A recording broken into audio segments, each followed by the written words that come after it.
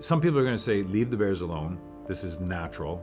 I think it's totally unnatural. Climate change, as we're seeing it, is not natural. We're going to see a lot more skinny bears. We're going to see a lot more starving bears. We're going to see them closer to where people live. Um, and it could be a lot of bears, dozens, hundreds.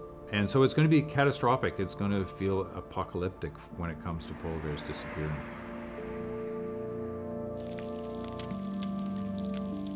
Polar bears make their living eating seals, and there's lots of different species that they rely on, but ring seals, bearded seals, that's the bread and butter for these guys. If you're going to feed polar bear seals, we're going to be talking about killing thousands or tens of thousands of seals every year, and then somehow shipping them to where the remaining polar bears are. And harvesting seals to, to feed polar bears is not going to be logistically a viable solution. We don't farm seals, but there's bear chows that are fed to polar bears in zoos.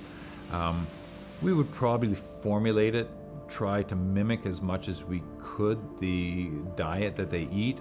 What you would hope is that there's still some seals out there, because if there's no seals, then it's a lost cause. You might as well just put a big fence around them and call it Polar Bear Zoo.